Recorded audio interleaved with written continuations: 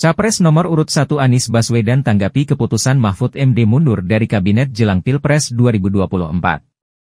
Mahfud mundur dengan alasan enggan kampanye dalam posisi menggunakan fasilitas negara. Mahfud MD resmi menyatakan bakal mundur dari posisi Menteri Koordinator atau Menko Polhukam RI. Pernyataan tersebut disampaikan Mahfud di Lampung pada Rabu 31 Januari 2024. Ia telah membawa surat pengunduran diri yang akan diserahkan kepada Presiden Jokowi.